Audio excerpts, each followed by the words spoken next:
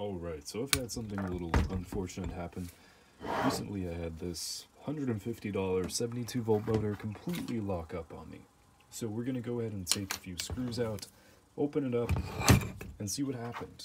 The normal controller that came with it apparently must have put too much power into it because the shaft is completely stuck. There is nothing I can do to move it. No amount of force on the shaft will move it. So I consider it to be a dud, but sadly the Chinese seller I ordered it from will do nothing to compensate me. So we're gonna crack it open and see what's inside and try to make some use of it. Pretty hard to do this one-handed, so give me a second. Alright, let's take a look inside of here.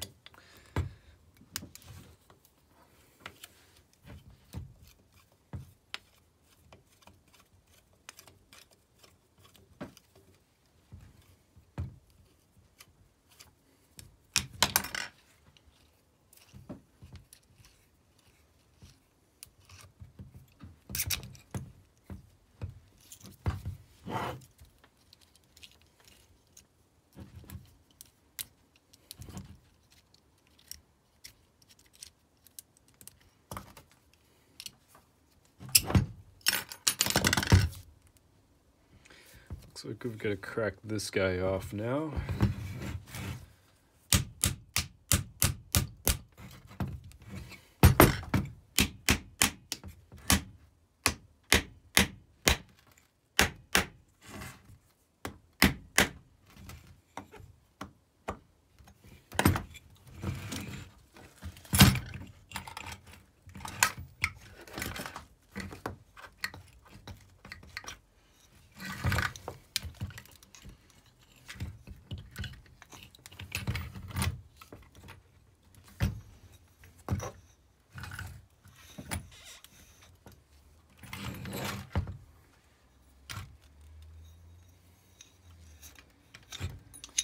Alright, so there's the back cover of this motor.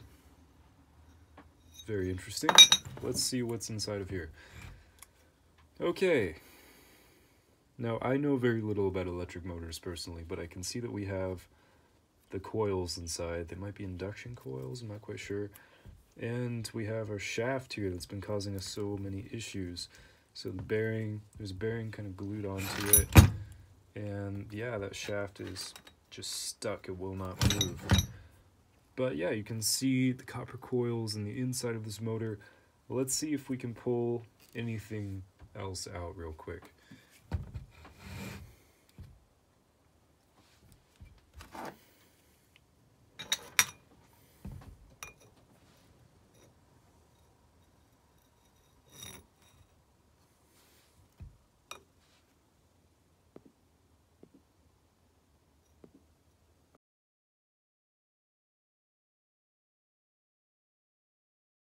Alright, so you may have seen in that last portion of the time lapse that I was able to also get the front cover off, which reveals a shaft. Now the shaft is still completely solid, frozen in there.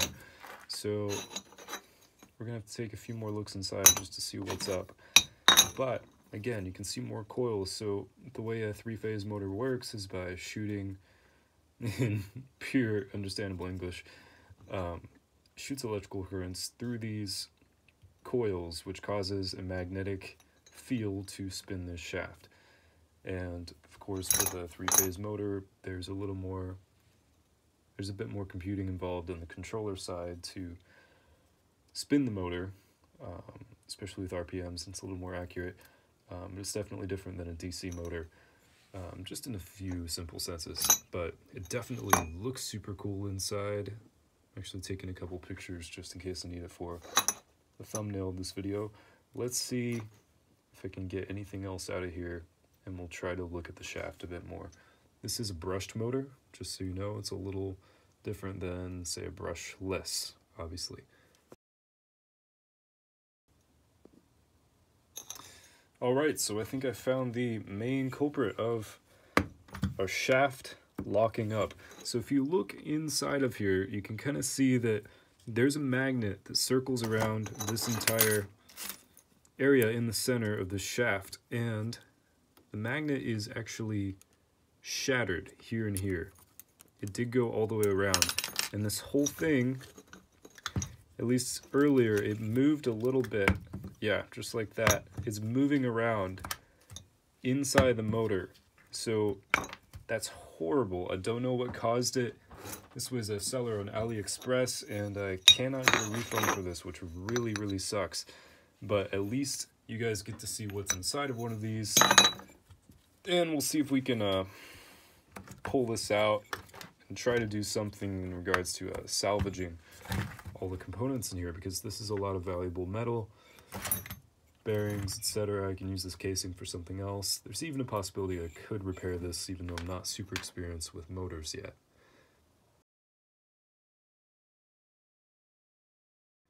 Alright, so this is really interesting. I'm trying to get the main this main cylinder out and I have mostly gotten it out. The problem is the magnets are so strong it was being pulled back inside, but we just got it out, you guys, and oh my god, these are strong. Goodness, okay.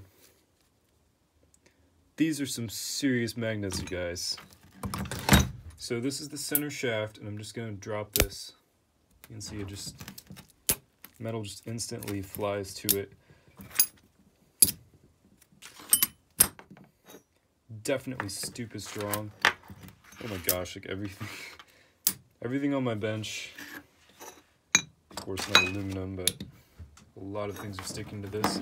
So a magnet like this definitely is useful for some things, but we're gonna try to keep it away all these metal parts just for now.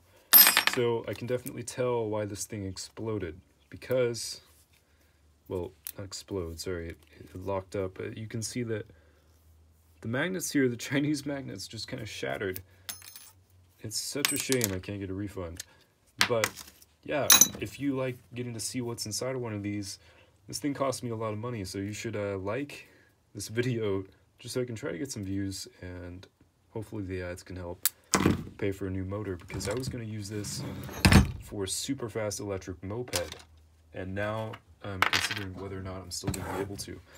Uh, let's see Possibly we can get these coils out. I'll do my best. But this may be the end of the video. We'll see. So the coils are actually glued inside and you can see, I'll just try to point the light in the right direction. You can see that there are some magnets on the inside of this that are probably just as serious as these guys. Now, this thing is absolutely insane. It's just picking stuff up. So I might get to salvage these magnets and do something useful with it. It's definitely very cool since I was little. I've always taken apart broken technology to see what was inside. So thank you guys for watching. If you want to see a lot of cool projects involving motors and electric motors, you should subscribe to my channel. I do a lot of things with batteries. I even, um, I'm working on something similar to a Spider-Man suit right now that winches me up walls. So feel free to check that out and thank you for watching.